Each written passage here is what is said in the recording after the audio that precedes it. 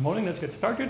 So, this morning I will talk about post-Snowden crypto. In fact, um, two years ago, doing a brainstorm, I was kind of convinced to give this talk, and I was a bit reluctant because it's a lot of work. You have to read all these Snowden documents.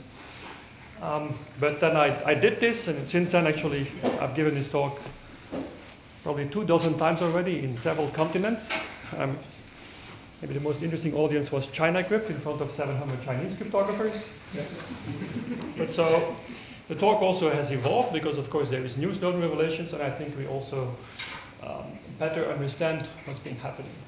The summary is very simple. We'll look at the essentials, just summarizing Snowden revelations. Most of you, of course, have read the newspaper and know what's in there, but still my experience is that people kind of sometimes stop paying attention um, or also newspaper articles are very often not technical and techies usually don't dig in and try to find out what's really behind it. So the journalist only gives you like half the story. You go a bit more in detail, then we discuss something which particularly touches me, is how secret services go after crypto and how all the crypto we've been trying to deploy actually is being undermined. And then we will see how we may have to change our infrastructure and systems and designs to actually address this. I guess the big difference pre and post Snowden is that I can go now anywhere, even for a broader audience, and mention NSA and everybody knows who I'm talking about. course, we cryptographers know the NSA because they always used to our conferences in the beginning, they tried to stop our conferences, they tried to stop publications. Then in the late 80s, early 90s, they would send beautiful women to our conferences, which who spoke 11 languages, but didn't know anything about crypto. I don't know what they were, they didn't come to me.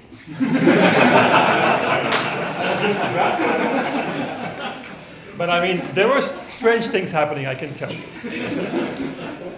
and then in 1940, NSA for the first time gave a talk at crypto.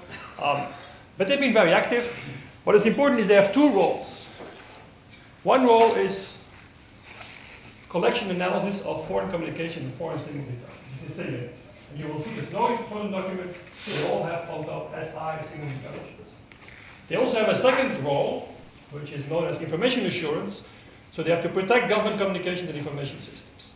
What we know from Snowden documents is that they've been very good at this one, but maybe not so good at this one, because in fact, hundred thousands of documents could be leaked. Extremely classified documents, and they also contain classified documents of their friend GCHQ, probably very upset with them about this. So, but it's a problem, I think, to have the two conflicting roles in one organization, because it's always easier to make wins in attack and forget about the defense.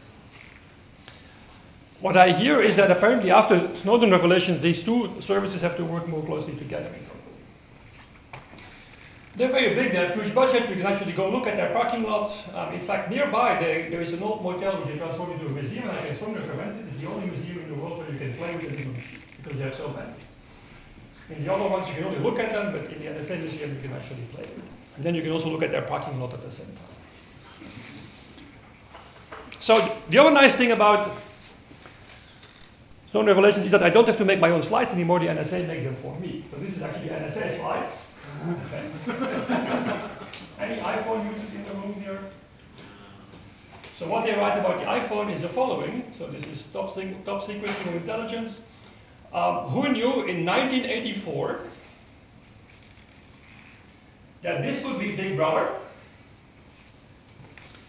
and the zombies would be paying customers? So maybe I should make this more clear. The NSA says that if you are an iPhone user, you are a public zombie who pay for your own surveillance. This is what they say on their slides. By the way, Android users are the same. So to summarize Snowden documents in one slide, what the NSA does is collect it all, know it all, exploit it all. Collect it all, we kind of knew. Know it all, we kind of knew. Exploit it all, I think was pretty new. We could have guessed this, but I don't think people understood the scale and impact of exploitation.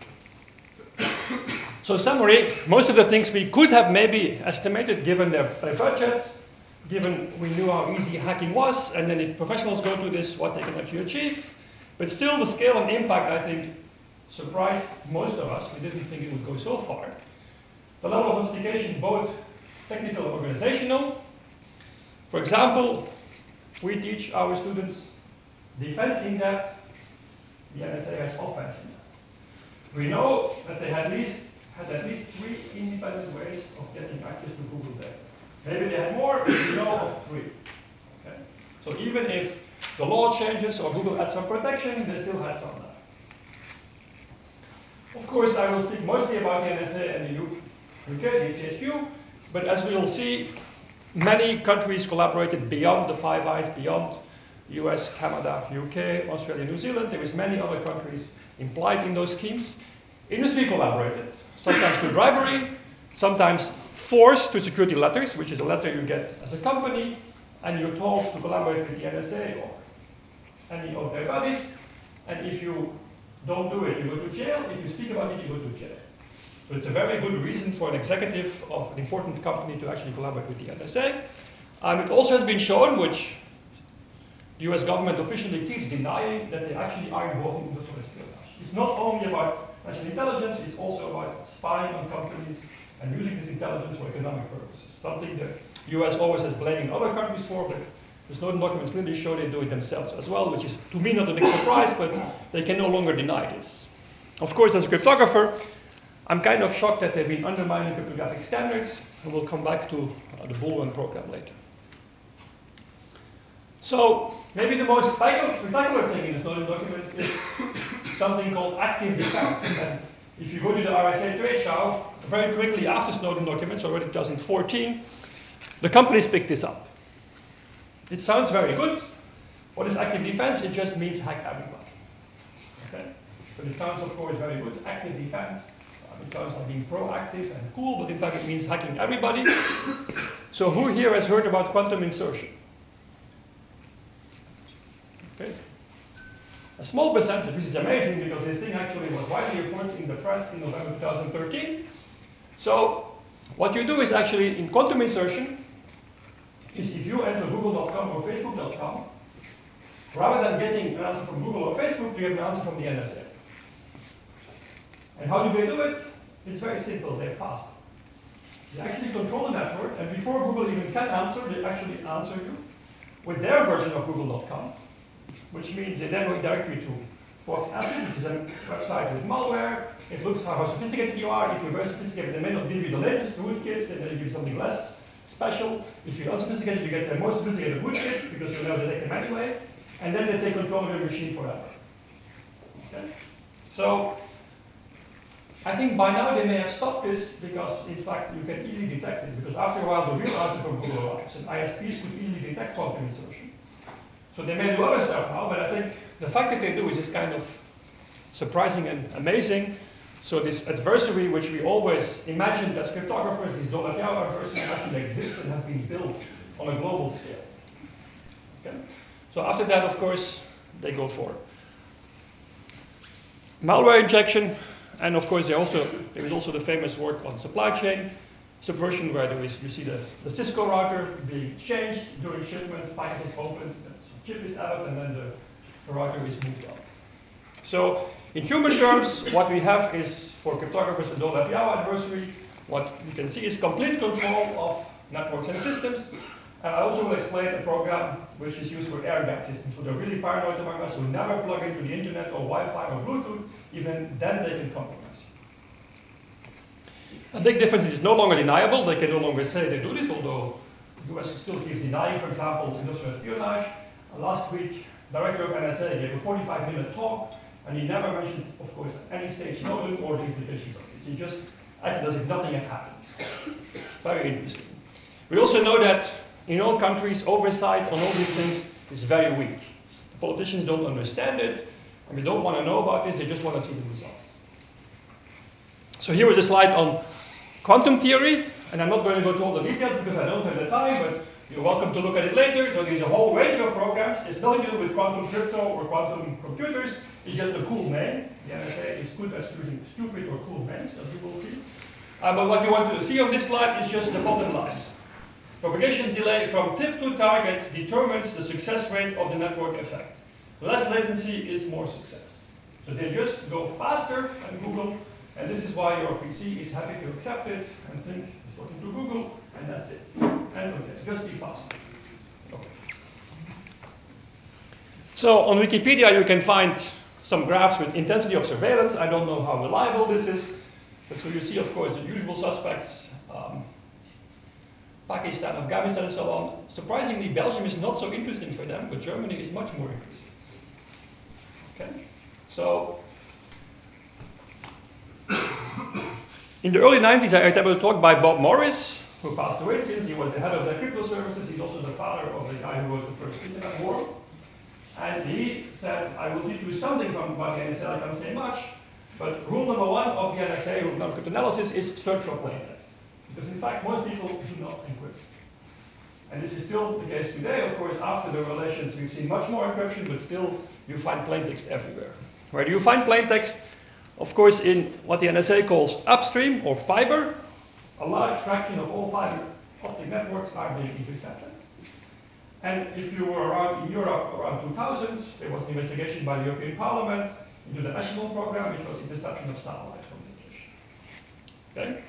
So, in the first week of Snowden revelations, um, there were two big revelations done. This is 2013. And the first one was the existence of PRISM. PRISM says, in fact, that the NSA gets access from Microsoft, Google, Yahoo, Facebook, and so on, gets direct access into the cloud. Okay? So the second thing is a famous slide shown by the NSA to its analysts, and you should look at the yellow thing here. You should use both. So don't only intercept all communications and use this, but also get the data from the cloud. We still don't know exactly how this interface works, whether it's real time or not, and, and what the, the, volume is. Of course, the companies who are involved are not willing to tell us, and the NSA is not going to tell us either. But we do know that cloud data ends up in the hands of the NSA. So here you see more details on PRISM. Well, what you see here as detail is that Microsoft was the first to collaborate and Apple the last. Of course, some may have been added since then. Uh, Snowden relations are at a certain moment, this document. But so all your good friends are somehow involved. And so Skype, actually, um, as you see here, is in 2011.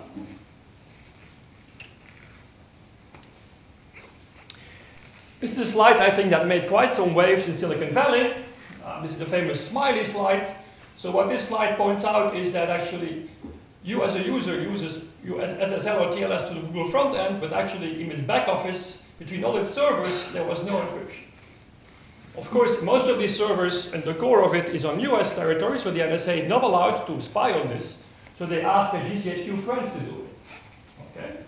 And so this is known as uh, the little program, the code name, the muscular program, sorry. And so to quote Bruce Schneier, if your network operator, in this case level 3, has a code name, in this case little, then you're screwed. okay, so in fact, we as users saw all of this SSL and we felt very good. But of course, in the back, everything was being um, clear and was intercepted there. By the way, I uh, met an Australian company uh, last December and so they made quite some business in Silicon Valley by selling all kind of high-speed line encryptors to all the companies who now are encrypting their backbones. Here is an example of um, interceptions in Germany in a certain year. So this is last 30 days. So you see it's between 10 and 20 million items um, per day are being intercepted. And this is DNR and DNI. DNR is dial number recognition. This is the metadata. DNI is the content. Okay. So and there is graphs for most of those things. Maybe more cool, um, remember Obama saying we don't listen to your phone calls? Well, maybe that's for the US. Um, the NSA actually intercepted the full content of all phone calls in the Bahamas. Okay, plus another country which is unnamed. And of course, they collect metadata in several other countries. They also collect metadata in um, the US, as you know. But so the full take, this is the expression for the NSA for taking everything, which means also the content of all phone calls in several countries. So here you see the fiber optic network interception. So this is plans from GCHQ from seven years ago, so it's kind of outdated. So the plan was to tap 17 terabits per second. The problem is that most people on the internet send each other videos of cats, and they don't want to store those over and over. So what they do is at the tapping point, they actually have filtering for those kind of things, and they throw them away. So the egress is only 4 terabits. So they have, they have about a 20% selection rate already on the spot. So what you see is actually massive, and it covers most fiber optic cables, most cables So what about Skype? So Skype was a European company. It actually got to all the firewalls and actually was this way to give you free calls everywhere. Was a major breakthrough. Um, what happened is in February 2011, in fact, due to a court order, the NSA managed to get access to Skype in and Skype out, out calls, which means you leave the Skype, the European network, and you go to the regular phone network. And they got interception at this um, transition points. Then in May 2011, Microsoft bought Skype for $8.5 billion, and one and one month later, the NSA managed to do Skype peer-to-peer -peer interception. So Skype is no longer distributed, and Skype is no longer protecting you against the NSA. Um, if, are there any Skype users here? So if you use Skype on multiple devices, you know what happens. If, you, if I send you a text, you will get this on your laptop, and if then an hour later you switch on your phone, you get the same message again. Pretty annoying, It's also annoying for the NSA, so they actually point this out, and they actually have a, they have a, they explain this, how, what do I, how, why do I receive multiple copies of Skype chat sessions, and they want a tool to get rid of this.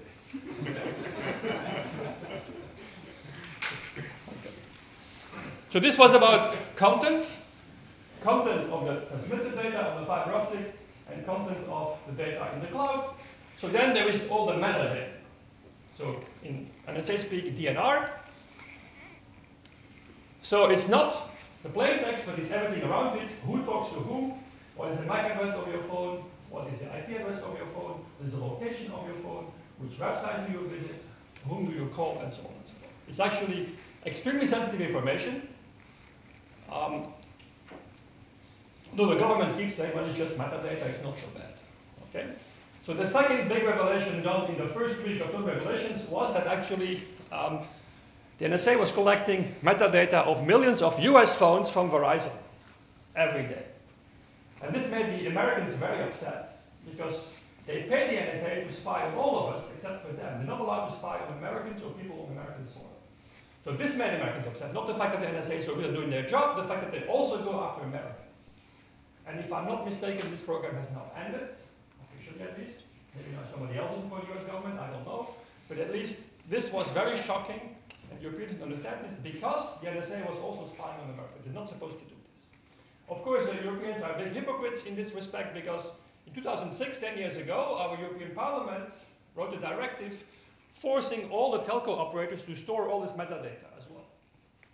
And the only difference between countries is whether it was stored for six months to two years. There was a range you could choose as a country. And so, eight years later, in April 2014, European Court of Justice, the highest European court, actually declared that collecting all this metadata is against human rights because it's mass surveillance where everybody, innocent and dangerous people, are all being treated the same and all the information is stored for a very long time and this information can be abused.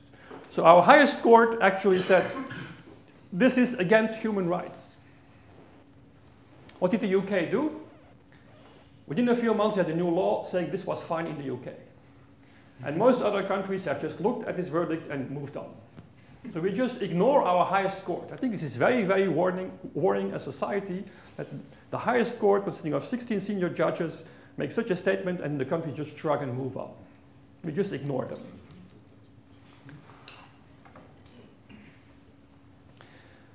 You smart people, so you can figure out that if you have lots of location data of phones, you also know who's traveling with whom. So the NSA had a couple of years ago 5 billion records a day of where a phone was. And of course, this way you can figure out who's traveling in the same car as somebody else by just looking at some statistical analysis. It's called the co-traveler program. By the way, you may know that Obama um, was very generous and he said, we will stop the Friends of Friends of Friends program. We will restrict the Friends of Friends program right? Only two levels. I have some suspicion that I may be a friend of them. You're now with me in the same room for about an hour. My phone is there, your phone is here. Welcome to the club. I should have warned you before, you should have actually left your phone in your hotel room or at home. Okay? This is what friends of friends means. Okay? So To the American public, Obama said it's only metadata. Because, of course, the NSA clearly broke the US law by intercepting metadata or asking metadata from Verizon on US customers. And so Obama said, we're not listening to your calls. If you go to Bahamas, it's something else. But in US, we don't listen to your calls. Okay? But of course, a bit later, General Hayden gave a speech and said, we kill people based on metadata. and if you read the speech carefully, a bit later, he actually says, but that's not what we do with this metadata. so, very interesting debate. So, what is left, except from data in the cloud, in transit, and uh, metadata is a client system, so you can also hack the client systems. Um, you can use zero days, you can buy them on the market, or NSA can also find them themselves. And then you use sophisticated malware. We've seen some examples of this. Of course, we don't know whether the NSA wrote Stuxnet and Flame and all the and Regin or GCHQ did it or somebody else, but at least we have an idea of what's, what's there is highly sophisticated malware, way more complex than anything which is used for, by ordinary hackers or criminals. Okay? So we also know they get plain text by hacking your device. Um, the people of GCHQ, actually the employees, complained because it was very disturbing to have to look at hundred thousands of pictures of naked people in front of their webcams. It was very disturbing for them and emotionally problematic that they had to do this. Okay? So I guess you also may know that if your mobile phone has a battery in it, so if it, even if it's off, it can be turned into a remote microphone. And it's an interesting development that many high-end smartphones today have a non-removable battery, which means now if you meet with spooks, you have to leave your phone in a different room. In the past, they would actually put their phone on the table and take the battery out so they could prove to each other that they were not being listened to. But today, in fact, they have a separate room where they leave their phones because you can't take out the battery anymore. And I also spoke already about stealing of uh, the keys in SIM cards, so the governments do have those keys if they need them. They just steal them from the vendors just in case. So if you are an important person to the NSA, I guess this is not the mass surveillance of billions, this is just maybe 100,000 or a few hundred thousand, then you will become subject of the TAO program or tailored access. Tailored access operation, this is special hardware developed to go after individual machines, and in particular those machines that are never connected to the internet. Say journalists, activists, um, and so on, who are very worried about organizations like the NSA and who, by special machines, boot up from tails and whatever, and try to be extremely careful in what they do. They have a special program with devices to go after you. Okay? So there is many technologies. A large list of their catalog was leaked in December 2014 and was published in Der Spiegel. And it's really paradise for, for hardware hackers. I can really recommend reading it, reading it and see what they have. It's fantastic. You can find lots of technologies. You can find out how many they orbit and what they cost. So most of those things put an extra chip in your device, which actually can be remotely activated and remotely listened to. Okay? So when this is inserted, maybe in a black bag job, or while your device is being shipped to you, the box is opened, the chip is added, and then it goes on. So here is an example of uh, RageMaster. It's a bit hard to read, but I can tell you what the thing does. So they put a chip between your motherboard and your screen, it intercepts the red line only. This seems to be enough to figure out what's happening on your screen. Okay? But then how do they get access to the information? Well, they actually shine with a radar from a distance up to 20 kilometers to activate this thing.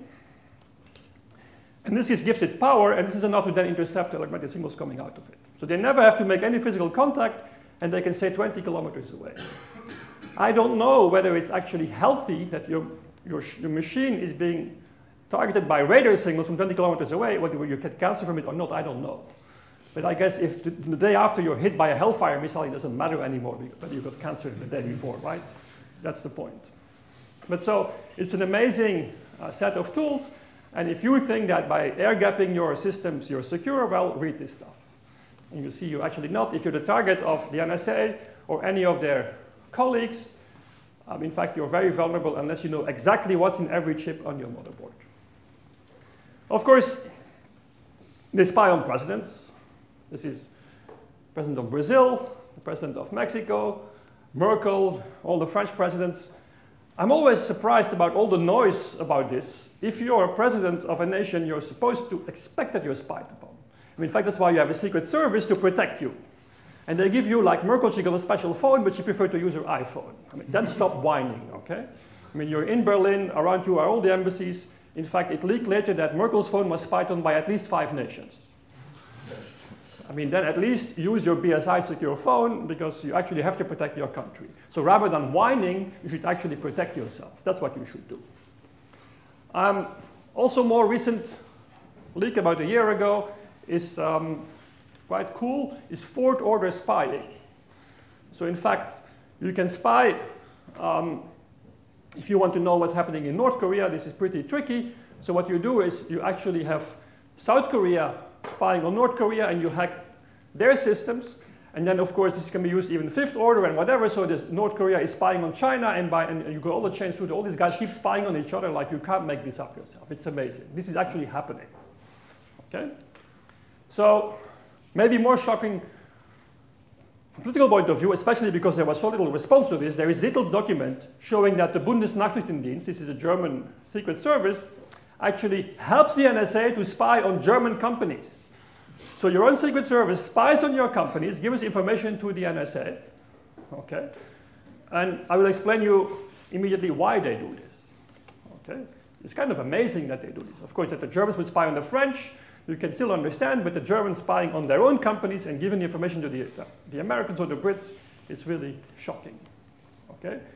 They've been hacking antivirus companies, um, and of course spying on human rights groups, and so on and so on. I think the list is endless. So, this slide will try to explain why the BND is actually helping GCHQ and the Americans to spy on German companies. The reason is a system called Tempora. This is a slide I got from George Danezis. So Tempora is a UK system. Um, the NSA counterpart is called XKeyscore Deep Dive. So XKeyscore is a system where everything is brought together because, of course, you don't want to deal with 500 different systems. You want everything in one central system. And the Dive one, dive one gives you the more detailed analysis. So pre-Snowden, how did we think surveillance worked? We kind of had some idea how this worked. So what you have is you enter some key, you have all the traffic, satellite interception, prism, metadata, and so on. You have some selectors, you look for certain names, okay, certain maybe phone numbers are suspicious or email addresses. So as you start investigating people, you enter selectors in this filter, and then what comes in here is of course also voice, also fax, whatever, everything they could do. This is already happening from before in, in, there were devices in the early 90s in which they could intercept voice and fax messages. Of course, now they can do much more. And then you promote traffic, so the special traffic which matches those selectors ends up in the database and it's for further analysis. So this is old hat. Tempora is much more sophisticated. What you actually do is you have a ring buffer in which you store the full take. everything. You collect everything. Okay? By the way, there is even more collection beyond this. For example, if you use encryption, then all your communication is also stored for long term in Utah. Okay, so just in case they'll in the future be able to decrypt, if you use encryption, you can always ask for a backup from Utah. Okay, okay. But this is just the plain stuff. So all traffic is actually stored, and the estimate is that for three days it's cost about $200 million, it's about 125 petabytes. So what they do next is they actually have queries to extract metadata and to, to structure the data. And then they do something what Google does. How can Google give you so quick answers if you have questions? Because they've done analysis on the data before, and they can actually give you within a fraction of a second answers to complex queries. Well, they have something similar. Okay. So, and then you actually ask queries and they get answers. And this gives you promoted traffic, but of course gives you also new selectors um, for the old hat system. Okay. So maybe this is still too abstract, so now I'll try to give you some examples what you can do with this kind of system. Okay.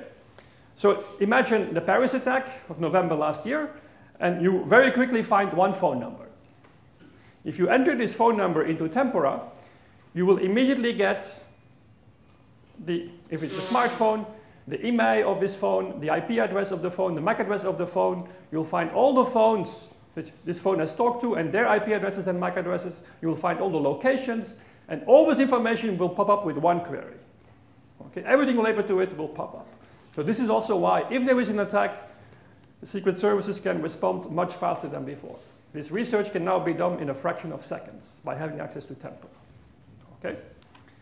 So sysadmins tend to collect MAC addresses in Excel sheets. So if you want to go after a country, you can query Tempora, find all Microsoft Excel sheets containing MAC addresses in country X. And this is the start of the exploit of country X. So you now find all those things and you can start breaking into this country. You can say which companies are interesting, what are the government services, and so on and so on. If you have a Microsoft box, you get many updates every second Tuesday of the month, as you know. And I don't know what your experience is, but my experience is that about 10% of these updates fails. If the update fails, Microsoft find out, the NSA finds out before Microsoft. They now know you have an unpatched vulnerability in your system. And so in fact, they can query the system and say which systems in this country are vulnerable to this weakness, have an unpatched weakness uh, present. If they say, you know, we want to find everybody in a certain country who speaks German and who uses GPG or Singmol, they can do this. Okay? So I think this is important to understand because this is the core of the debate. The NSA and GCHQ say what we do is targeted surveillance. Okay? But to do this, they actually do mass surveillance. They store everything about everybody, and then they can ask targeted queries. But in the definition of the NSA, if, you, if a human doesn't look at the result of the query, there is no surveillance. This is their definition. But I think it's extremely scary. You have to also think how this could be used for political purposes. And go after government, after politicians, and after human rights groups, after dissidents, and so on and so on. So, if your government has complained, well, of course, there is the, the real core is US, Canada, UK, and then, of course, there is the Five Eyes, this is Australia, New Zealand, but of course, NATO is also involved. There is also something called the European Circle, which I would say involves some core European countries. Sweden, Belgium is included as well. And there is third-party countries and so on and so on. So the message here is there is a broad set of overlapping, non-overlapping sets of countries, but most non-rogue states are somehow collaborating with the NSA. So, of course, you now understand, if I show you Tempora, why the BND wants to give data to GCHQ because the BND wants access to Tempora and they can't write it themselves. Or even if they can write similar software, they don't have enough data. So the BND gives sensitive German data to GCHQ. In exchange, they can ask so many queries per day to Tempora. And I suspect that all governments do this, even the Belgian government. We just haven't seen the documents about it. But it's all secret treaties in which all our governments are involved in mass surveillance um, for targeted questioning of people. So, of course, what France and Germany have been doing in the last two years is they desperately try to build similar systems. Okay? And even if they can't do global spying, they will at least do similar things like active defense, hacking other nations, but also spying on their citizens using this kind of technology. And of course, Russia and China have been doing this also for a long time. They, they didn't wait for the Snowden documents, but of course, they now get more inspiration on how to do this. And of course, soon organized crime and ISIS will do the same thing. So especially the active defense part, I think, will become very popular. So summary, enormous economy of scales. This is why most nations, even Germany, France, are not big enough to do this themselves, so they have to work with the NSA. You should never underestimate what somebody like the NSA can do. Your image of the state is passively listening to everything that's happening. This is an illusion. What they are doing is hacking. They're taking control of systems, they're undermining systems. Um, the NSA made a statement a couple of months ago saying at least 91% of zero days after we use them, we reveal them to the public for patching. About 91%. 9% they probably never reveal to you. They also don't say after how many months or years they actually tell you that your system is vulnerable. So they try to make a good image, but I think it's actually, what they say is actually shocking. So if you care about communication security, well, it's important, of course, but you really see the battle is being fought in the end systems. And I don't think this is going to be stopped by asking them nicely. I think we have to really be much better at getting supervision of these agencies uh, non-proliferation treaties, I think, is very important. You may have seen that last fall China and the US signed something. What it means, I don't know, but nations are understanding that it's going so far they have to stop it at some stage because they're undermining each other's critical infrastructure. In the end, everything may collapse. So the only advice I can give you personally is if you buy your next device, buy more RAM because so many nations will be trying to put malware on your device that there will be a RAM shortage. it's the only real prediction I can make, which is probably practical advice. And also, I think the other thing is if you want to protect against them, well, you can better give up. Right? You can use encryption everywhere, but you have to assume they will control your end device if you have something valuable. Okay? That doesn't mean you have to do something bad. Right? Remember the Belgacom case? In the Belgacom case, what happened was GCHQ went after a company that manages traffic between Asia and Africa. If you look at the graphs and the diagrams, this is a, a black spot for the Five Eyes. So communication between Asia and Africa is very valuable to them. And Belgacom happened to control a company that did this. So an innocent sysadmin of Belgacom was actually infected by the Regin. This guy is not a terrorist. This guy is not a criminal. This guy is just managing networks for Belgacom. And he was the target. His machine was undermined. If you're in between them and their target, whatever.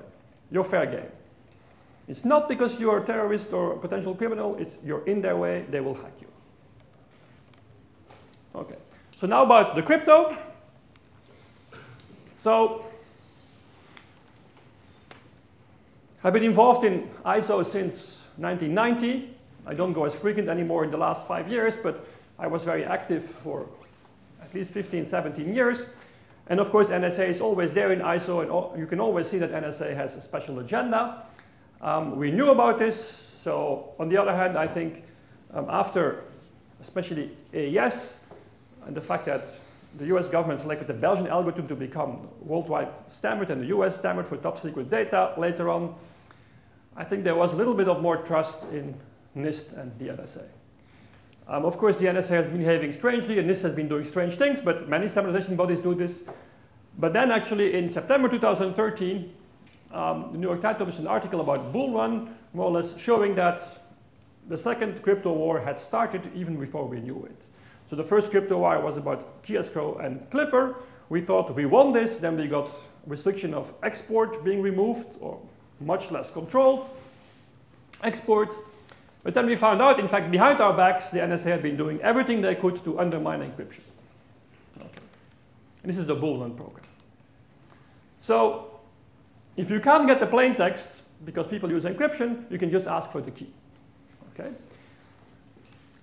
use security letter, and then you get the key, and that's it. It's of course very hard to get evidence of this because the guys who got such a letter, they can't speak about this, and if they do speak about it, they go to jail.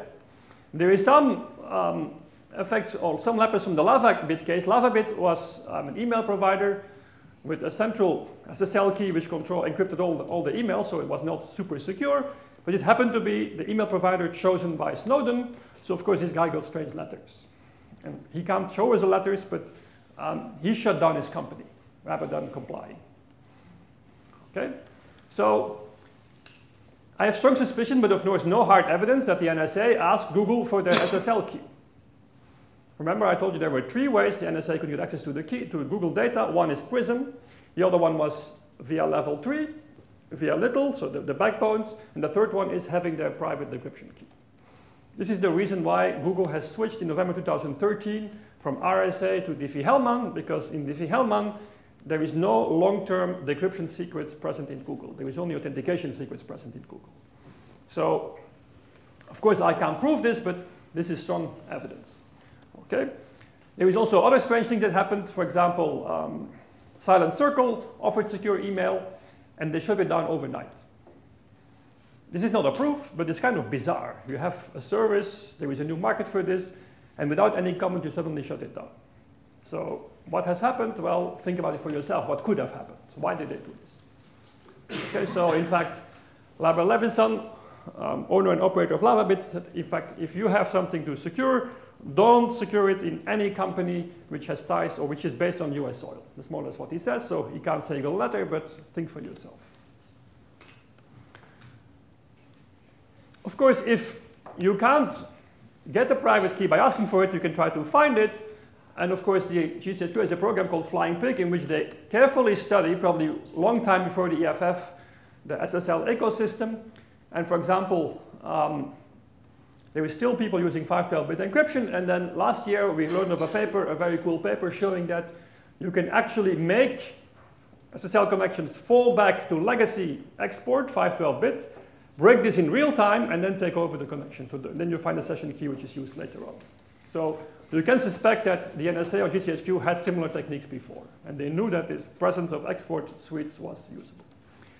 Many servers use 1024-bit, and I think back of the envelope calculations show you that the NSA and GCHQ have the money to actually crack those keys. Maybe not for everybody, but at least for important targets, yes, they can do this. If you can't get the private key, why not substitute the public key?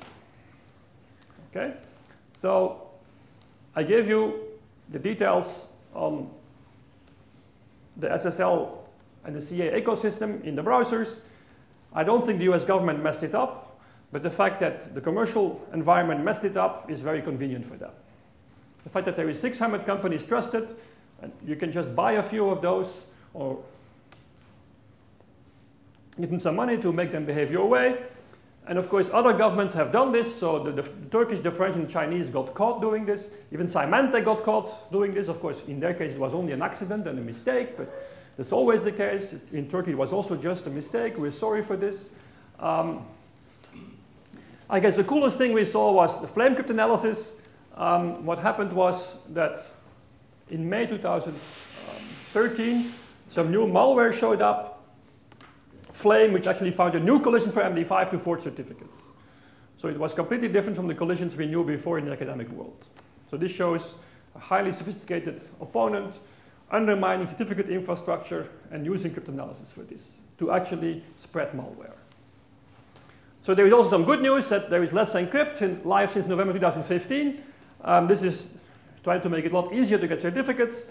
Um, they still don't have, uh, they've not been vetted to be in the store of Mozilla, so they've been certified by IdenTrust, I believe. So they actually it's like a second order, and they're, they're working on, it takes about one year to be vetted uh, to be a root CA in the browsers.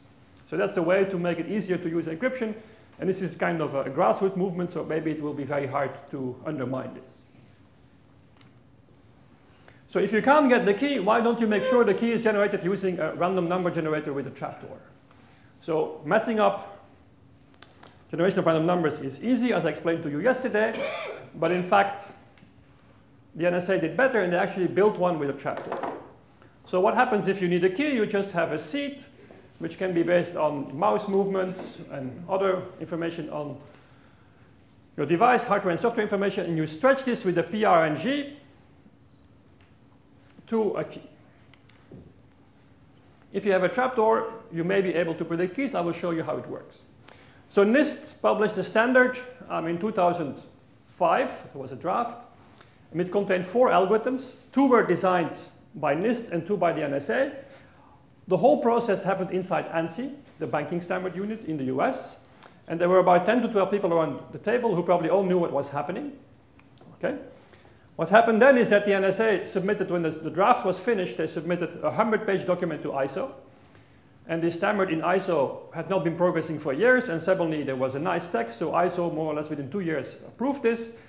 Um, ANSI is quite closed. As an outsider, it's very hard to get in. ISO is a bit better, but even then, you know, you have to be formal member and so on. And I was a member, but I didn't have time to look at this stuff, to be honest. Um, and then, in fact, they came back to NIST in 2005 because if you want to get your products validated, you have to have a FIPS standard. And then they can impose it for selling it to the Department of Defense and the US government. So, but only for the validation, they had to actually go to NIST. And the problem is that NIST has quite some visibility and they have open processes. so in that, that was the first time I would say, in December 2005, that the standard with four um, deterministic random bit generators is the NIST name for a PRNG, that in fact, this was exposed to the wider public. So personally, I thought this was ridiculous. So they had four algorithms, and three were based on symmetric key, and one is based on public key.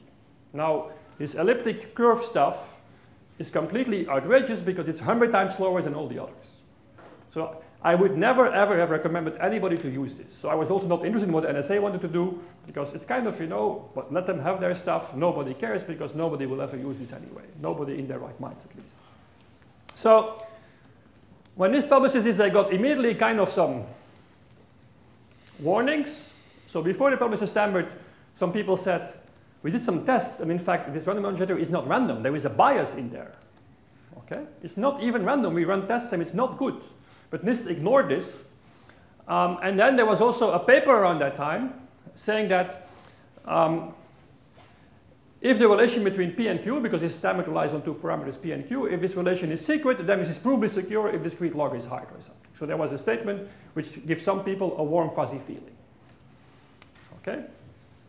Then after publication, 2007, what happened at the crypto rump session, Ferguson and Shumow from Microsoft, they actually said, hey guys, um, if somebody would generate first P and then compute a secret parameter D himself and then compute Q from P and D, then this standard has a problem. There is a backdoor in there. Okay? Now I have to point out that Ferguson was part of the original ANSI committee. So you probably knew this already since 2001, but for some reason Microsoft decided to go public and complain about this. Okay? We still don't know why took, it took them six years. Um, what Certicom did was even more interesting. So Certicom was also in the ANSI committee. What they did is they filed a patent for an escrow random number generator. And they said if you want to avoid this key escrow, you can do it like this, and then you have to pay us royalties. You know, quite cynical as well, okay? But so this more or less gives a lot of circumstantial evidence that everybody around the table in 2001 in ANSI knew what was happening. They knew that NSA was putting a backdoor in there. But For some reason, they decided not to speak up. And so in 2007, they spoke up. So we cryptographers naively thought if in front of former cryptographers, Microsoft says there's a trapdoor, within a few months, NIST will withdraw this standard, right? What did NIST do? Nothing. They got a letter from Bruce Schneier and they answered him something, whatever, some vague comments, and they didn't do anything. So of course, when in 2013 New York Times then said there is a problem, then of course suddenly everything exploded and people figured out that this, this standard had never been removed. So in fact, P and Q are in the standard, and the appendix says the security of this standard requires that the points P and Q be properly generated. To avoid using potentially weak points, the points specified in Appendix A1 should be used. So in fact, as a user, you're actually forced to use the P and Q backdoored by the NSA. In fact, it was even more tricky. If you would change P and Q, you would never get your product certified, which is bizarre because random number generators don't have interoperability requirements. You know, you can use a P and Q and I can use a different one and our products will perfectly work because random numbers don't need to be the same on both sides, right? They'll never be the same, okay? But so NIST points out if you change P and Q, you have a problem. So use the ones we recommend you. So between the lines, so NSA can exploit their backdoor. Quite interesting. So of course then the shit hit the fan in September 2013. And then within a very short time, NIST recommends against using dual EC um, and then, of course, a few months later, it was leaked that BSafe, a library from RSA, which was still widely used, they claim mostly among governments, but I have some suspicions about this, um, actually was using dual EC as the default. And then it was found out, or leaked by Reuters, in fact, that um, the, NSA, the, RSA received a $10 million contract from the US government around the same time this switch was made. Is there a connection? Is this bribery? strange things happened. But so our view as cryptographers that nobody would use this stuff because it was so slow was already completely undermined because actually companies supplying to the US government were putting it in voluntarily or after some nice monetary compensation. So it was being used. Okay, so how does it work? So an RNG has a state. So this state is started up from mouse movements and process timing and whatever. Okay? And what you do is you update the state, and you do this. Um, you don't need to know the details, but you actually multiply this point on the curve by p, and you take the x coordinate. And then you take the new state, and you multiply it by q. You take the x coordinate, and then you truncate. Why do you truncate? Because otherwise you have a bias. Okay? How much should you truncate? Well, if I would design this thing, I would truncate to half. But what they did is they only truncate two bytes. You will see later why this is the case. So then you update your state again with P, you output again, you compute R with Q, and so on. So this is how you keep working. Okay, this is, you update your state with P, and the output is done with Q. Okay? So if you now know D, I'm not going to show you the math, but if you know D, and you have the value R1, you can actually go by this, and if you have one output, then you can actually compute the internal state and of course all future outputs. Now the question is, how does the attacker get one output? Well, look at SSL or IPsec. What happens is the client first sends a nonce to the server. This is a random number which is sent in clear over the network, which is used for authentication purposes. So the server will sign this or, or will decrypt this or whatever. So in fact, the protocols are designed in such a way that you get this nonce for free. And from this nonce, you have to guess two bytes. And then with D, you can actually bypass this triangle and actually compute the state. And from now on, you can compute all possible outputs. What is computed in this stage is the session key. Okay, simple and elegant. So now you know why it's only two bytes, because it means you have to do 2 to the 16 guesses to predict the session key. If you would truncate 10 bytes, it would be too difficult. Okay? So this is how it works. The NSA said, uh, the only comment they made was, well, you claim there is a backdoor. We don't, and of course, they never formally confirmed they have the D. We don't know they have the D, but it would be crazy not to have the D. And they said the attack would be too hard to do. And then, of course, a team showed that it was actually possible to do the exploit more or less in real time, even with modest computation. In some cases, it takes a bit more time, but the NSA has quite some computers, so you should not be worried. They can, in real time, decrypt communications protected using dual EC as random numbers. Okay. So, last December, a news story um, hit the newspapers. Juniper, router company, actually um, announced two vulnerabilities in their NetScreen, in certain versions of NetScreen. And in fact, they confessed, which they did before, that they use dual EC. So it's not only RSA and BSafe, it's also um, Juniper. Of course, many products support dual EC because if you are producing for the US government, you have to go to this FIPS validation, which is time consuming and expensive. So what you do, of course, is you will implement the four generators. Because if you implement only three, and then a year later your customer asks for the dual EC, then you have to go through the whole process again. So even if people didn't want to use dual EC, they always have it in their products. And it seemed that many actually activated it, maybe because they got some bribery or some phone call to maybe do this. We don't know yet. So Juniper published two advisories, okay, about specific versions of their ScreenOS. Said discovered unauthorized code in the ScreenOS software that powers NetScreen firewalls. So actually, Juniper was hacked and somebody put strange code in there. Or they had an internal hack and some part of their company went rogue. So two backdoors were found. So Juniper published, of course, the vulnerability, the impact, and the patch, but they never said actually what the problems were in detail. So the hackers, of course, went after their code using the patch and they found all the problems. So the second problem is that, this is, we'll come back to this, a passive eavesdropper can decrypt VPN traffic. The first one is that you can bypass authentication in SSH and Telnet. So the first vulnerability was inserted in April 2014. And so the password, password was discovered in the code very quickly. It's this password. Okay? This is kind of a, an ordinary hack. You just put in a special password that works with any username and that's it. It's kind of shocking, but you know, it's not high-tech or nothing sophisticated. So now back to the second vulnerability or second backdoor.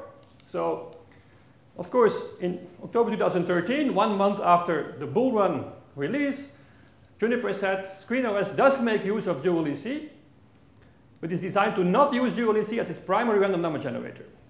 It used in a way that it should not be vulnerable to the possible issues that has brought to light. So what in fact they do is they take dual EC, they produce random bits, and then they run those to ANSI X931, which is another random number generator.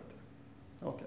So in fact, you never get to see the raw output of dual EC, so you can never do this D trick. Okay. So the hackers found out that actually the following changes were introduced on October 20, 2008. So dual EC was added, but a different Q was used. Okay, so what does that mean? It means that somebody else put their own backdoor in there. Okay, generated a D prime and computed Q prime, and now had their own backdoor. Of course, that's not enough because it was hard to exploit. So the RNG code suddenly had global variables. Okay, so there is this cascade of two RNGs, but it turns out that there is a very subtle bug in the code so that the for loop is never executed. And in fact, this ANSI X931 is never used. Of course, you will never find this unless you're told there is a problem there. Okay? Now, there is more problems because, in fact, doing the attack from 20 bytes is pretty tricky. So, in fact, the protocol was made more secure by outputting a 32-byte node, which makes using the trapdoor a lot easier. By the way, the NSA has always been trying in the last years, since publication of dual EC, they went to IETF and said the nonces in IPsec and SSL are too small, you have to have larger nonces. So to make their attack actually easier, because the larger your nonce is, the easier it is to recover the state. Okay? But in IETF, they were kind of rebuffed, fortunately, for not for technical, but not for backdoor reasons, because people had other reasons to not want to do it. They thought that the current nonces was enough, but so Juniper changed this, and then of course so this is increased nonce.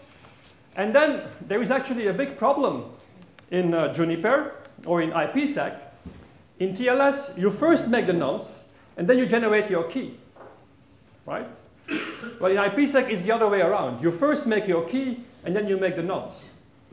So what they did is they rewrote the code so the nonce was actually generated first. Okay, so that in fact, the nonce would give you the state before the key was produced. Otherwise, this nonce gives you the state, but it's too late because the key has already been produced. Okay, so kind of, you can't think this is a coincidence, right? I mean, all these things are there to carefully hide there is a trapdoor and to make dual EC exploitable. By the way, this is all based on a talk given by Hovav Shacham um, at Real World Crypto um, last January. The, the, slides are available in public, and he gives more code examples. I just shortened this to a couple of slides. So then, four years later, more changes were made. There was yet another point put in there. So probably the Chinese or somebody else found out the backdoor and changed Q again. Okay? And so Juniper calls it an unauthorized patch. Okay, so the previous one was apparently authorized, but this was unauthorized. And then, of course, the interesting thing is that what they did in the patch, they removed this special password, and they replaced this, this point Q prime again by Q. So in fact, the patch left in this backdoor. So let's call this the NSA backdoor. I don't know why they changed P and Q here, but maybe to draw less attention, I don't know. But then apparently some other nation took over this random number generator and changed Q by Q prime, so they could now decrypt. So rather than actually activating this ANSI X931, reducing the RNG, and stopping this pre-generation of nonces, the only thing Juniper did was actually uh, change Q prime back to Q so the NSA could again eavesdrop on that ScreenOS. So I guess this is, I don't know whether you find it shocking, I find this all shocking. Right? Of course, we should not be shocked about everything anymore, but I think there is now hard evidence that this dual EC stuff is being massively exploited. That's one. Second, there is also hard evidence that if you have a backdoor in your code, there is a big chance that some other nation will take it over some other day. And this has been what cryptographers have been saying for a long time, but now there is actually hard evidence it has happened. of course, Juniper has no longer has not commented on all these things here, and I don't know whether they're going to solve the real problems or not. Okay, so that's it. So all this backdoor stuff, yes. Can I just ask about modified backdoor? Who, who discovered this? Was this was this so what happened is that Juniper makes its release. Okay, immediately then a community of people, I mean some hackers and some cryptographers sat together and looked at all the versions and did diffs and find out what has changed. So Juniper never told us what has changed, but of course, given that there were patches in specific locations and given that we were searching for dual EC, these guys reverse engineered all the versions of NetScreen from a certain period and found out what happened. But, but Juniper never came clear and didn't say this is what happened. But the code is out there, right? Of course, not in source code, but people just reverse engineered all the assembly code, and this is what they found. So, so apparently, people from the community discovered it ahead of the NSA. Is that, is that what I No, because Juniper, on 17th of December, replaced Q prime again by Q. That was their second patch. No, no, no. The community started looking, at that moment the community started looking, say what is behind this? And then started reverse engineering all the versions of NetScreen, and then they discovered the full story. But Juniper never leaked the full story. We only found out the full story by all this hard reverse engineering work. So, so it's plausible that the NSA discovered that they couldn't break in anymore and Yes. yeah. Exactly. We don't know. Yes, it, it's very it, it's very hard to say. Maybe this Q prime was also from the NSA. We don't know, right? I mean, it's nobody knows what actually happened. I guess Juniper actually must have logs and may be able to find out, or they should be able, but I guess they're not going to tell you. So, in fact, in the 90s, uh, Moti Yung, who now works for Google, together with Adam Young, they actually wrote a whole series of papers in which they showed, they call this um, kleptography, and they later changed the name to cryptovirology. They showed that if you use a crypto library written by somebody else, they can always screw you over in many ways. Okay? And so the rumor has it, I can't give you names or confirm it, that NSA was inspired by this work to actually do the dual EC work. Mean, in fact, in their papers and in their book, they show you how to trapdoor discrete log systems. They don't show you how to do dual EC. So in fact, the community was warned for this by the work of Yung and Young. So we should have been more careful because we knew about this. And unfortunately, this research also inspired the NSA to do bad things. Okay, so December 2014, so this is one and a half year into the Snowden revelations, Spiegel leaked that actually um, the NSA can decrypt in real time many encrypted communications. And this is SSL, IPsec, SSH, PPTP, Skype, and so on. So of course, we don't know how it works. Maybe they use weaknesses like Heartbleed. Maybe they ask for private keys. Maybe they exploit weak random number generation in IPsec. But so the numbers for five years ago was 20,000 secure VPN connections per hour. And so what you see here is you see the interception infrastructure with turmoil. And so in special cases, if ciphertext is being used, it goes to a long haul system.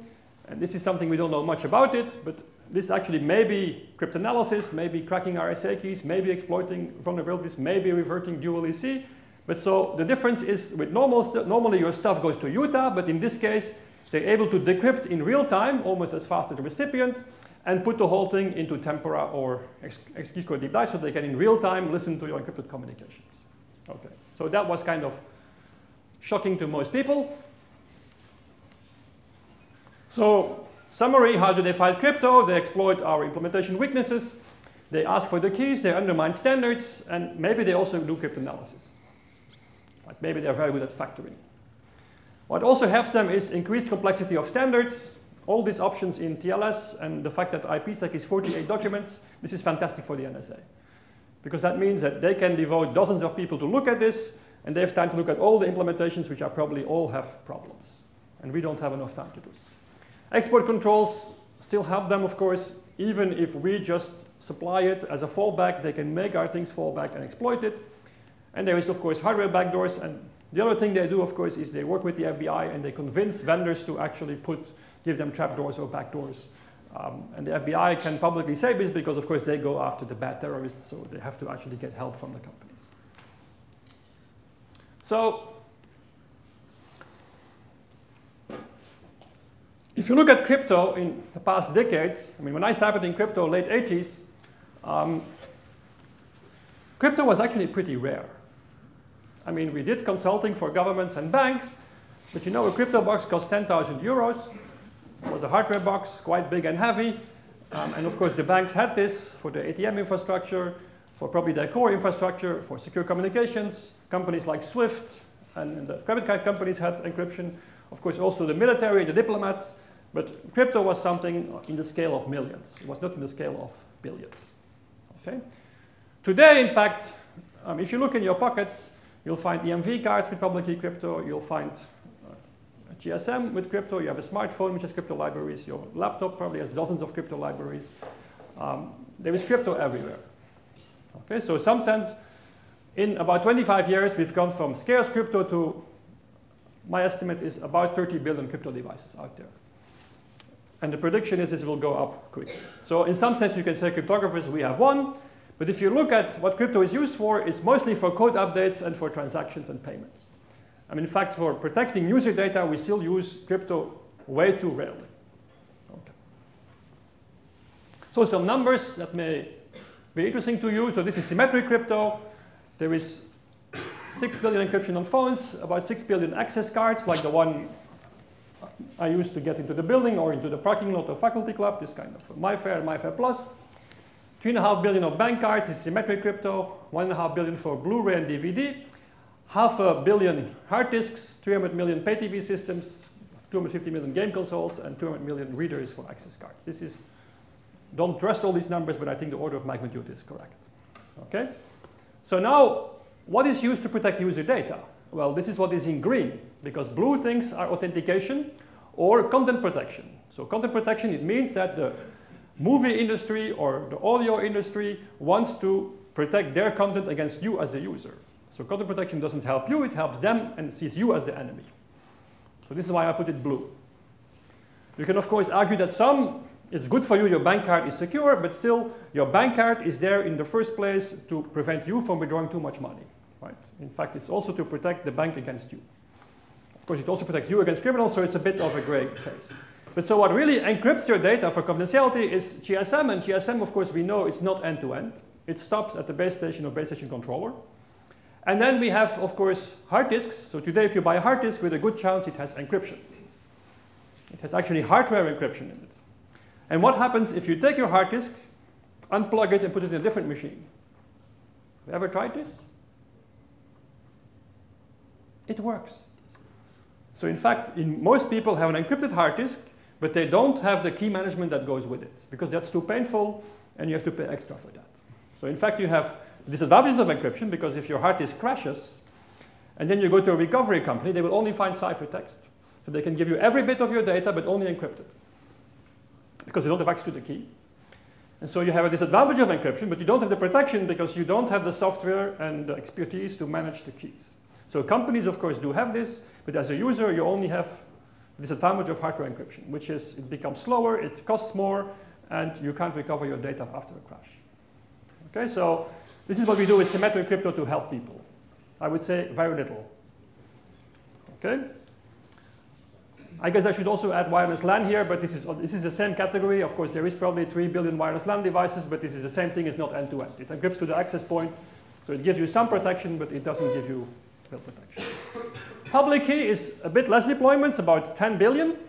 Um, the biggest thing is the automatic update system. Then there is close to 3 billion um, EMV cards out there. Then 2 billion browsers. WhatsApp, I think, is now close to a billion. Then there is pay TV systems. There is Skype, is half a billion. IDs and passports.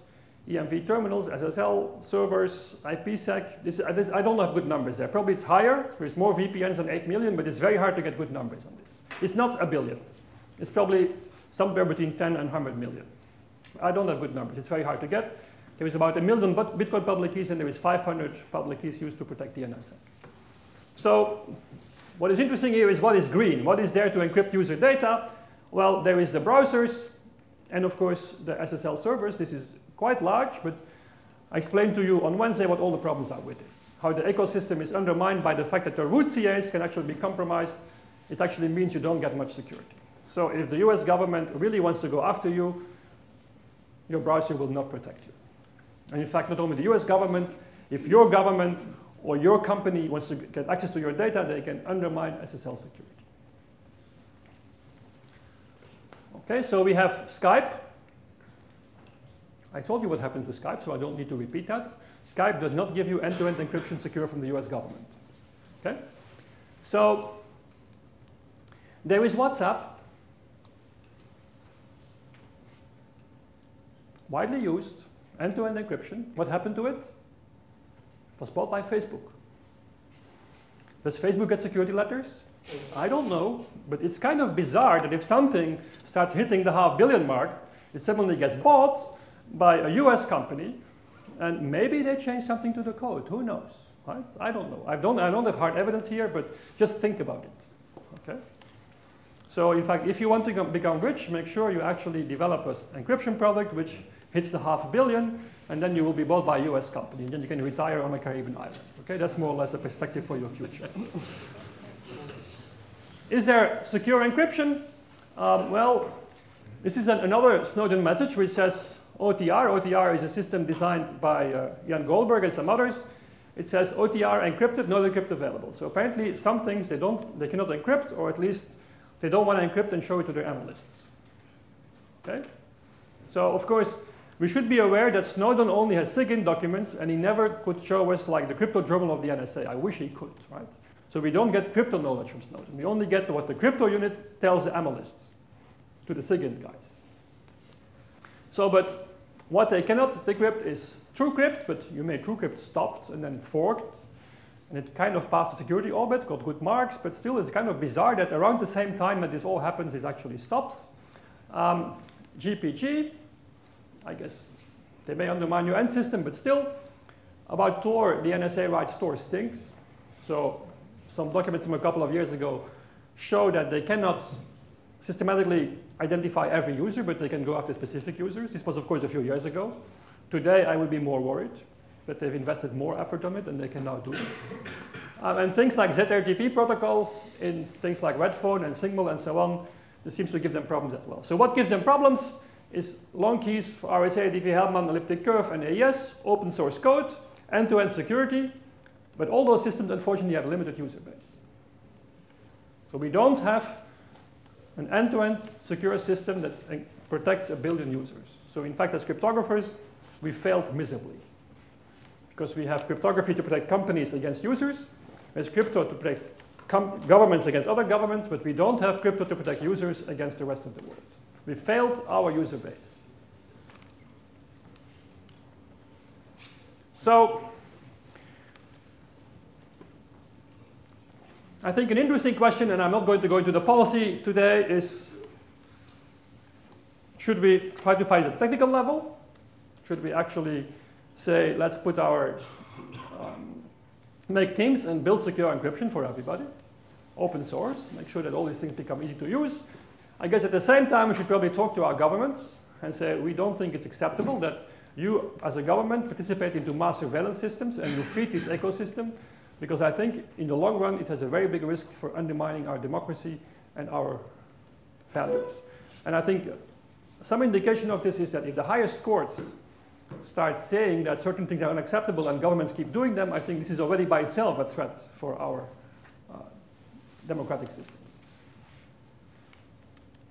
So what can we do?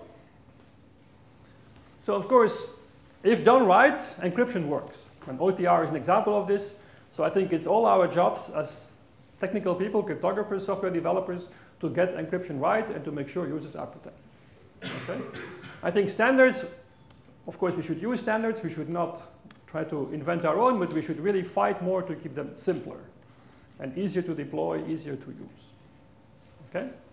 So of course, there is many problems like GSM weaknesses, the fact that most encryption is not end-to-end, -end, the fact that Skype, so Microsoft goes out everywhere and speaks about transparency. They said our response to Snowden revelations is we will become more transparent because obviously Microsoft is concerned about these non-US users. But if you then ask questions about transparency of the Skype protocols, you get no answer. So we should pressure Microsoft to say, you have half a billion customers using Skype, please show us the cryptographic protocols, please give us assurance that this is actually secure and there is no backdoors in there. We have weak implementations and backdoors like dual EC, we have weak governance like DigiNotar example, of course, we still have to look at routing and domain name services. We still don't have secure routing today. So a couple of years ago, somebody in China changed, made a massive change to routing tables, and suddenly a large fraction of all the internet traffic went over China. And China said, oops, a mistake.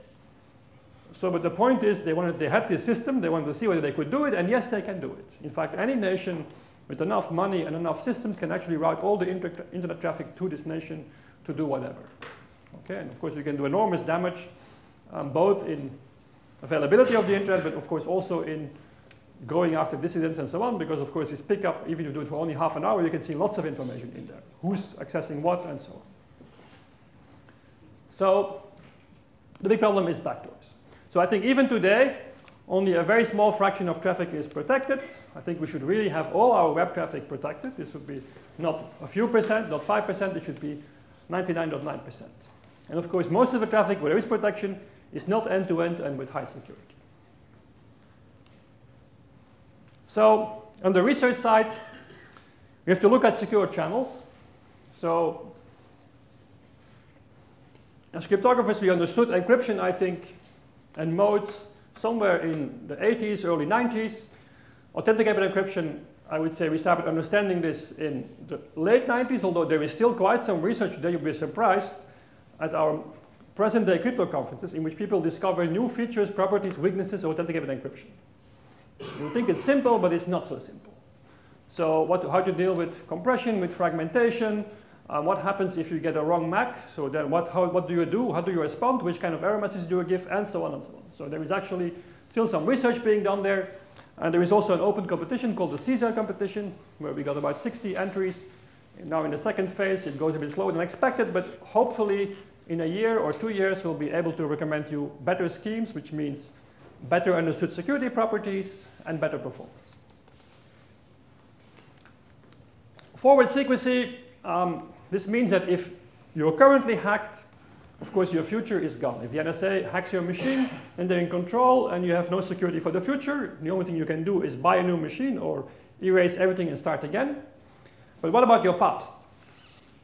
So remember, if you used encryption in the past, your data is in Utah. So if the NSA ever gets access to your keys, they can actually now go to Utah and decrypt all your past data. So how to prevent this is use forward secrecy, a concept introduced by Diffie, Wiener, and Van Oorschot in 1992. And the idea is you use Diffie-Hellman and you sign the Diffie-Hellman exponentials. It costs more than just doing RSA for key exchange. But in fact, it gives you forward secrecy because if the NSA compromises your signing keys, they cannot go to Utah and then decrypt your Diffie-Hellman. Of course, if they ever build a quantum computer, then you're cooked because then they can break the Diffie-Hellman part, but at least you don't store long-term confidentiality secrets. So this was well understood, but not deployed. And then I think a big benefit of Snowden revelations is that big companies like Google and Microsoft switched to forward secrecy in November 2013. And for TLS 1.3, also forward secrecy will become the mandatory option or the default option. So this is a big improvement. You should always think about this um, what if my device is hacked? Do I also expose the past? Of course, and this shows you the Achilles heel of email protection. In email, you can't do this. Because in email, you, you don't know when the guy will open the mail and decrypt, so he has to keep his key. So as long as you keep this key, you actually um, have to, you're vulnerable to exposure. So you would have to find a, a way you can use email where your key changes all the time. It becomes more like chat. So we have to maybe also think about redoing email in a more chat-like way. Denial of service, of course, also have to look at it. But in general, if you look at all our protocols, it's kind of, you can say we have to redo the internet, which sounds a bit crazy. But on the other hand, all these protocols were designed not with security in mind, with survivability, and they're not even very survivable. Okay? So DNS is now made secure, but there is no deployment, or not enough deployment. And in fact, still big debates about whether the way it's being done today is proper or not. BGP is still under development. It's amazing that we still don't have secure routing given all the investments in the internet. Uh, but I think in general, HTTP should be secure by default and so. Email should be secure by default and so on and so on. You should not have this patchwork where all these things, you add stuff on and hopefully the other guy uses it too and so on. So we should really, if we're serious, we should actually go back to the drawing table, try to keep as much as we have, but also try to redesign what's needed. Metadata protection is actually um, a very big problem, which is, I would say, not given enough attention. Um, there is, of course, a Tor system, which is very nice. It has 6,000 nodes, and it has several million users. So in that sense, it's a very big step forward because it's not only research papers, it exists, but Tor was not designed to resist global adversaries. Also, Tor seems to be shifting their battle more to battling internet censorship than actually um, not, their main concern is not traffic analysis in particular. I think if they're honest, they admit that with the, what we have now, they can never protect against the NSA because it's just too difficult. The NSA is too powerful. Yes? Um, did you see the recent exploit, I think, yesterday of using mouse movements to, uh, yes. uh, in real time, get everybody through Tor? It's a, it's a, it's a major problem, yes. So um, what to do? Well, David Chaum who is the guy behind eCash and Anonymous Communications and who invented the first Mixnet. He's been working on a new system called PrivaTegrity. I recommend you look at it.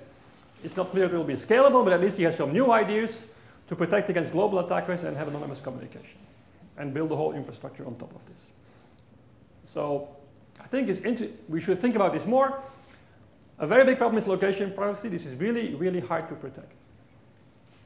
Because we just, as humans, we can switch servers um, in the Tor network, but we cannot, as humans, go 100 miles away within a millisecond. We can't do this. Okay, so we actually are in a physical location, plus all our devices emit all these signals that allow us to be tracked. So I think location privacy is a major problem.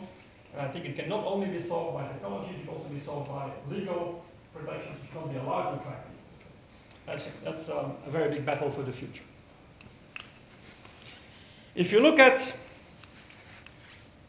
how we teach crypto, we tell people crypto is about moving protection of secrets to keys. Okay? And this is actually a much easier problem because you just have to manage keys. But I guess what we didn't think about is that the NSA says, okay, then we'll go after the keys. So by using crypto, we create in this system a single point of failure, a single piece of information that's very valuable. And of course, we didn't think of security letters as an attack model. At least I never thought. It's a very new attack model where somebody just asks for the key. So what we should have is a much more robust system, and in fact, cryptography has been working on this since the late 80s, um, and there has been quite some progress now. You can actually put shares of your key in multiple places, maybe even under multiple jurisdictions, although that makes, of course, lawyers very, very worried because they will, it's too complex for them to figure out what will happen. But the idea is that even if a small set of those keys are compromised, if the majority is honest, in fact, your system stays secure. So we should actually make it a lot harder and not put all our keys um, in one place. Of course, the pessimists will say, well, we don't have redundancy, we only have Windows, um, Linux, and Android, and iOS, and that's it. And in fact, iOS also is based in some sense on Unix, so we don't have diversity, but in fact, it doesn't matter, because the NSA will compromise all of that. That's the pessimist view. The optimist view is we should maybe think of new operating systems and we should create diversity, and think about how to do things differently. Um, and not use general purpose machines for some of these purposes, but have dedicated hardware machines, maybe running on bare metal or middle OS, that it's much harder to compromise this. So this was, of course, unthinkable when it was developed, uh, because communication was too expensive, machines were too expensive, but today machines are cheap, communication is cheap. It's actually feasible if you're willing to wait instead of 10, 100 milliseconds, a few seconds, you can actually do many of those things. So why do we rely on one certificate for a web server which is important? Why can't we wait for five certificates? And make sure this key is certified by several people to kind of use more reputation-based mechanisms and so on. So I think we should really think much more carefully. The crypto step is fine, but then we should not go to a single point of failure. We should be much more robust. And it can be done with there is many ideas in the literature. There is almost no deployment. And the computer system Security, this is of course the harder problem. The ComSec is an easy problem, which you don't know how to solve anyway. Or we don't have solutions today, but about the security problem, of course there is error possible at all attacks, and we had the whole week, you had lectures about this, problems. Governments have limits actually those weaknesses. You may be aware that Heartbleed was reported and very quickly this ended up in the US CERT. So probably the NSA knew about Heartbleed way before many of us. And they probably started exploiting it way before any of us were informed. So this is also a major problem. We see the same thing in Europe with the NIS directive. So the Network Information Security Directive, what you have to do is you have to inform your national agency if you have a breach or a problem. And so the question is, will they use it to help everybody else, or will they first use it to help themselves and then help everybody else? And this debate is not even had. You can't ask this question even. We need to update our machines, and we seem to have accepted this. Okay, I mean, I remember that my early machines, I didn't want to update them. There were not many security updates anyway at the time. But so now, because of security weaknesses, because security was not done right, you're forced to update all the time. But of course, we all understand that if somebody can update your machine, that you're actually vulnerable to them. Right? They can always give you a special update which puts a backdoor in your machine. And even processors. Modern processors can be updated remotely. Most people are not aware of this. But your processor can get special code special microcode to do things differently. Okay? Our defenses, you know, what we have is firewall, antivirus, and then what you see now is the new thing is, well, new is this SOCs, this SIEMs, whatever, this idea of central intelligence. We're going to monitor everything, and then we'll find out what, who the bad guys are. So in fact, what we now see in the companies, they're selling mass surveillance at the company scale. And of course, you can say this is fine because if you work in the company, you give away your soul. But what if the centers are compromised? And in the end, it's still mass surveillance, and it is data that can be abused. And the government can come and ask for access to your SOC and see what everything is, everybody is doing. So if it's your um, employees, you can argue whether or not you're protected by law, it's acceptable. But of course, it's also your customers you're massively spying on. So what we see is that in response to the security crisis, rather than building more prevention, the corporations are building more spying and detection, and they're helping the government in their mass surveillance. And so the statistics I heard were shocking. Gartner believes that spending on detection will go up from 10% to 60% of security in the next six years. So we kind of abandon prevention. No, we can't build secure systems. No, we can't make good code. We're going to watch everybody all the time and see what they do. This is how we keep the world secure. This is the US vision on security. And we somehow, as Europeans, we nicely uh, nod and we accept it. And of course, our companies make lots of money with it as well. Human factors is also a big problem we haven't looked at enough. So I think I would not have believed that a US company would backdoor its random number generator for $10 million, but apparently they do this. Money is money. And so here's a famous picture of Cisco boxes being opened, and then the NSA employees add some extra chips to it so they work better for them. and so I've been talking to several companies, so some companies now go in person to pick up their hardware where it's being produced to make sure that this doesn't happen. So data at rest is the easy part of security. You can, of course, use BitLocker if you trust Microsoft not to use the backdoor they may have. Um, you can use TrueCrypt. In the cloud, we should use it more, but it's actually not used enough. But of course, what if you have to compute on your data? Then encryption uh, doesn't help. We'll come back to this. We should, of course, look many more at all the stages. Crypto design. Is there kleptography or cryptovirology happening? Hardware backdoors. The US government is spending lots of money because they're actually worried because most US hardware is produced in Asia. So do the Asians put backdoors in the US hardware? So can you detect this? Can you prevent this? Software backdoors, um, modifying devices, um, doing shipment, configuration errors, updates where you insert backdoors, and what happens to all the things at the end of the lifetime. People are maybe starting to search in those as well. So we've been focusing mostly on a few phases. I think we now understand better. We have to look at all the phases. So I think if we want to have a long-term robust solution, we should think about the architecture. Architecture is politics. It's not a technical decision. The fact that all data is now concentrated in a few clouds, of course, saves enormous amount of money and allows you to fire many system managers and other annoying people. But on the other hand, so it means, brings great cost savings to companies, but of course, it also is an architecture which has political consequences. It means you become dependent on central point of failure. So what we've been told is that if you want utility, you have to give up your privacy, you get cool systems that are nice. We should really, as researchers, look at improving this trade-off rather than accepting the trade-off and just giving up the data. We should go to minimal disclosure.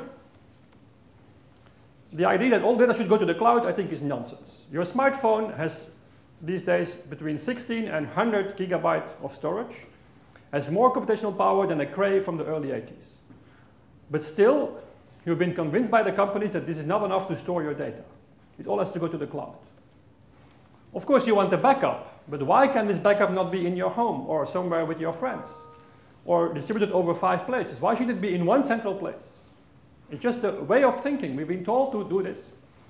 And of course, if you do collect data centrally, why not encrypt it? And you see, of course, that the big players are now doing this. Whether it's as a consequence of the Jennifer Lopez incident or some other, or the Snowden, we don't know, but they do this. But the question is, do they have backdoors? Or do either the FBI or the NSA, can they force them to have backdoors? From the FBI, we'll know the answer. From the NSA, we will not know the answer. That's the difference. Okay? And of course, with crypto, we can do some stuff. So, in fact, my first proposal is keep data with the users, keep it on your local devices, and do local backups. Okay? There is things like ownCloud and whatever you could share this with friends. So even if your house burns down, you still have your data. You just have to rethink stuff, and like in energy, energy production was first distributed, then it became centralized, and now it's going distributed again. And there is no reason why it shouldn't be done differently. Why should we not move back and go to distributed? It can be progress. Okay, an example is road pricing. So the current road pricing systems, they put gantries everywhere and they film everybody. While in fact you can perfectly do road pricing with a module in the car that keeps track where you drove and gives you the bill without the government having to know where you've been driving. You can do this perfectly and we showed this in our group with a system that worked five years ago.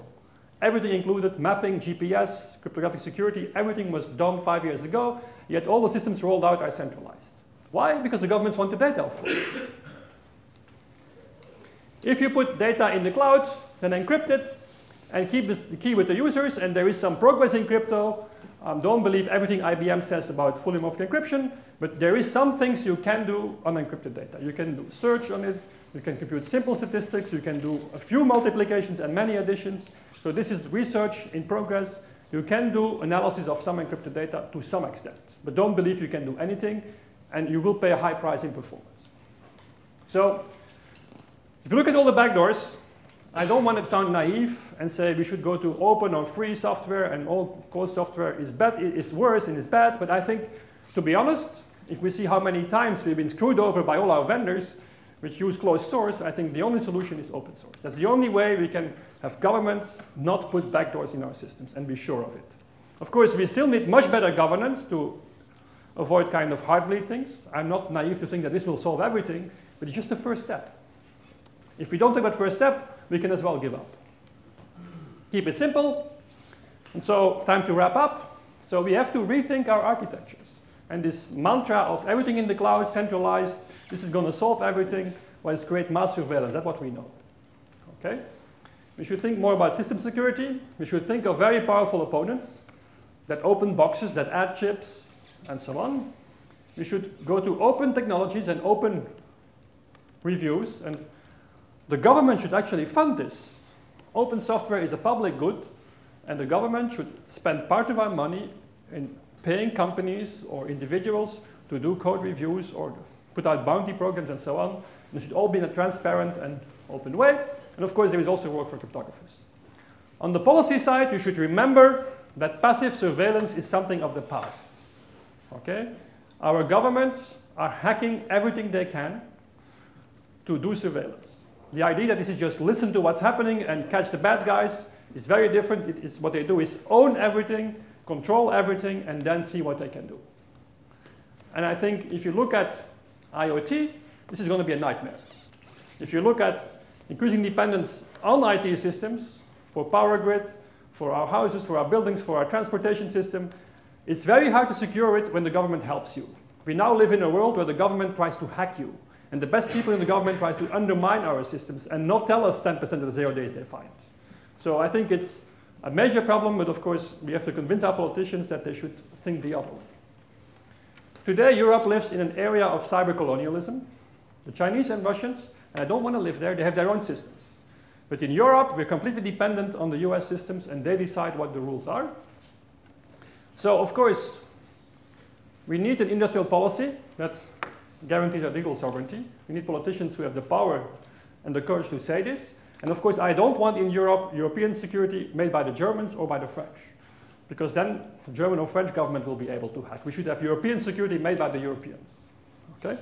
And of course, we have to think about law enforcement. Um, they should not be using as much malware or backdoors, but they should be able to get access to the data. So here's more resources. You'll get the slides of this, and I'll stop here. Thank you very much for your attention.